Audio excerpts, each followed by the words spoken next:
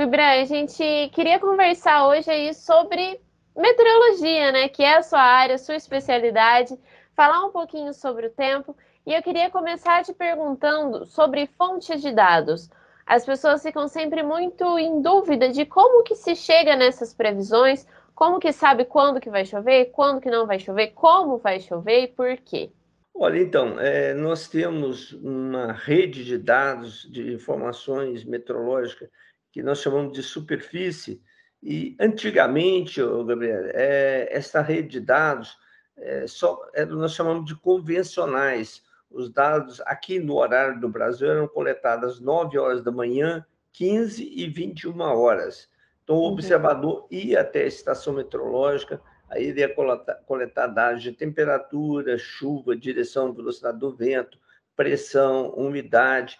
Também tem algumas informações que é num código internacional que ele coloca essas informações para que eu possa ler esse código, o russo, o alemão, o, o japonês, qualquer pessoa, assim como eu recebo também os dados dele e consigo ler essa informação. E ele também pega informações assim de tipo de nuvens que estão atuando no céu, a altura da base da nuvem, a cobertura de céu, se no momento está chovendo, se não está chovendo. Isto eram estações que nós chamamos de convencionais.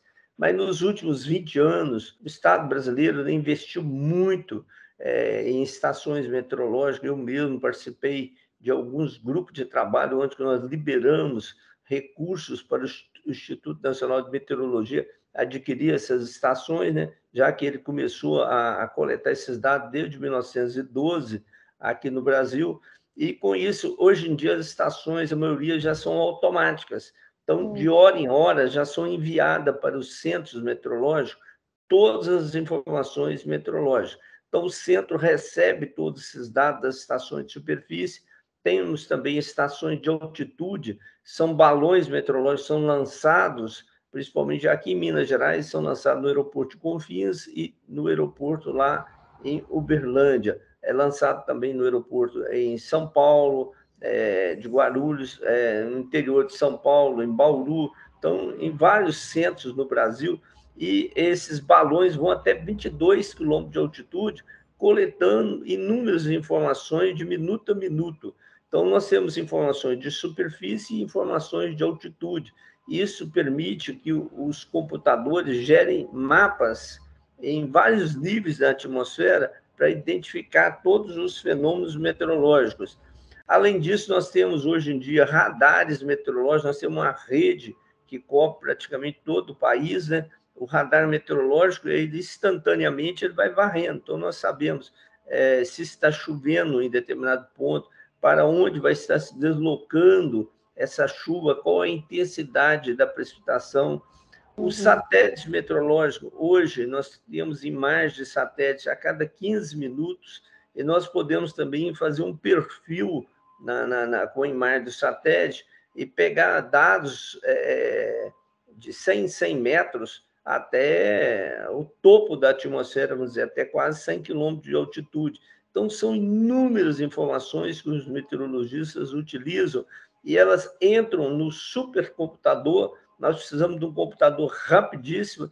Esse computador ele faz em torno de 700 trilhões de operações por segundo e com isso ele consegue simular o que acontece na atmosfera, porque também são desenvolvidos modelos meteorológicos assim da, da atmosfera, então ele está deslocando uma massa de ar. Essa massa de ar ela vai interagir com a superfície, ela vai adquirir aquelas características da superfície.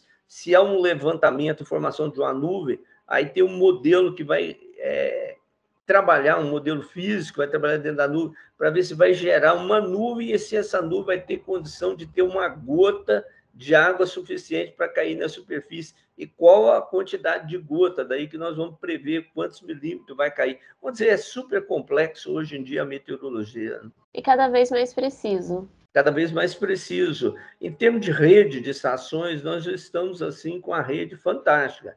Então, na Clima Tempo, hoje nós já temos modelo que faz uma previsão até com 72 horas a cada três horas. Então, você, em determinada localidade, você pode saber o que vai acontecer é, nas próximas três horas, se vai estar chovendo, é, se vai ter sol, qual vai ser o volume de precipitação, a direção do vento, se vai ter uma rajada de vento, se vai ter uma tempestade. Ah, e além disso, nós temos um sistema que nós fomos pioneiros lá na CEMIG, eu fui um pioneiro lá na, na, na, compra desse sistema, que hoje ele está já disseminado aqui no Brasil, que ele localiza os raios que caem em tempo real. Então, se está ocorrendo uma tempestade elétrica, ele fala onde que está acontecendo o raio, para onde está se deslocando essa tempestade, qual a intensidade, a localização de cada raio. Como se fosse um raio caiu em cima de um prédio, eu consigo localizar saber qual raio caiu em cima daquele prédio e saber todas as informações daquele raio. Então, está muito, vou dizer, a meteorologia avançou muito, principalmente a partir de 1995.